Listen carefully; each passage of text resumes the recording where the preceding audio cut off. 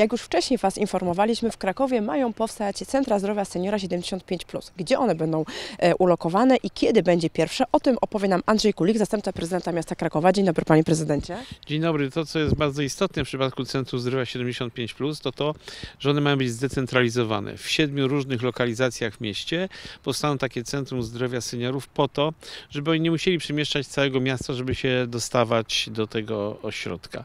Pierwsze powstanie tutaj przy ulicy Wielickiej, przy Miejskim Centrum Opieki, ale to nie będzie jedyne. Pozostane, pozostałych sześć będą rozmieszczone w Swoszowicach między innymi, w Bieńczycach, w Zwierzyńcu i innych częściach miasta po to, żeby tam mieszkający seniorzy mieli blisko do tej opieki, która będzie skoncentrowana w centrach zdrowia 75+. To będzie opieka geriatryczna, ale także psychologiczna, ale także rehabilitacyjna. Wszystkie te działania, które osobom w tym wieku są najbardziej potrzebne. Oczywiście będzie możliwość skorzystania także z innych specjalistów, w zależności od potrzeb. Oczywiście ci specjaliści czasami nie są konieczni, żeby byli przez całe 7 dni w tygodniu, ale czasami dwa razy w tygodniu może się tam pojawić na przykład dermatolog czy pulmonolog.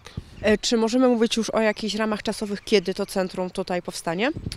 E, Pozyskujemy działki w niektórych przypadkach, bo wymieniamy się ze Skarbem Państwa, jak przy ulicy Sawiczewskich e, w Swoszowicach, a niektóre już posiadamy, jak na przykład w Wieńczycach przy ulicy mm, Fatimskiej.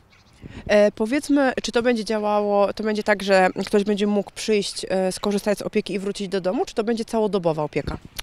Nie, to ma być rodzaj opieki ambulatoryjnej, ale także, co bardzo istotne, to ma być takie miejsce, w którym osoby starsze mogą przebywać, na przykład po to, by poddawać się rehabilitacji. Tutaj akurat mieścimy się przy ulicy Wielickiej, gdzie taki ośrodek rehabilitacji już funkcjonuje w naszym mieście, bardzo dobrze, o bardzo dobrych opiniach i chcielibyśmy, żeby takie ośrodki rehabilitacyjne również w tych centrach rehabilitacji, centrach zdrowia 75 plus powstały, bo z doświadczenia wiem, że taka rehabilitacja ruchowa jest bardzo potrzebna naszym seniorom. Bardzo dziękujemy za rozmowę. Dziękuję bardzo. A Was zachęcam do śledzenia profili miejskich, gdzie wszelkie informacje będą aktualizowane.